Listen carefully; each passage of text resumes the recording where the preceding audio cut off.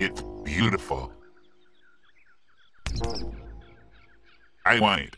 What? The house? No, the ducky. Oh. But you already have a ducky. What are you saying? That I shouldn't have whatever I want? Well, I must have it, I must get it, you must go and get it for me. If you want me to be happy, then you'll show me you adore me. Don't rest another minute here before. If you wanna do your best, I would suggest you go and bring me back that duck. but sir, if I could just jog your memory, you already have quite a few duckies.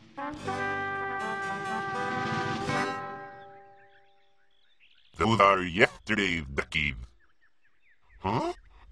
These are all perfectly good duckies. Why, most of your loyal subjects would love to have even one ducky this nice.